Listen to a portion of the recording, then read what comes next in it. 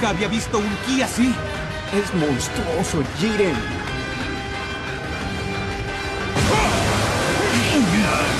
No puedo creer que escondiera un poder así.